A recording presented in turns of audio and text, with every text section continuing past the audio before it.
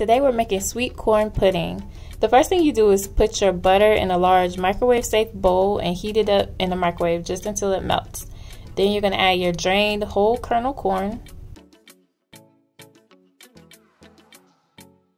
Add your creamed corn. Add sugar, a little bit of salt, vanilla extract, then go ahead and beat your eggs and add those into the bowl.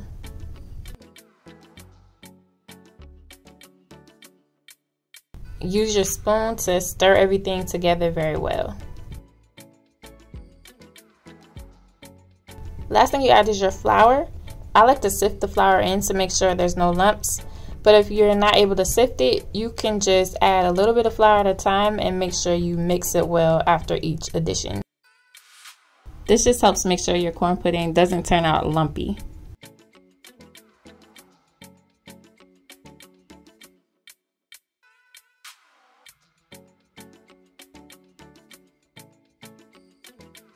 Then you're going to spray your baking dish with some non-stick cooking spray.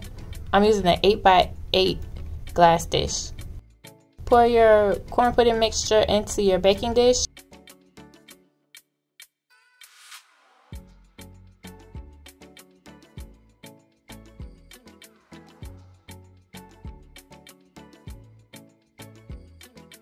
I like to sprinkle a little cinnamon on the top before I put it in the oven. You don't have to do that though. And then you're to bake it for 40 to 50 minutes in your 400 degree oven.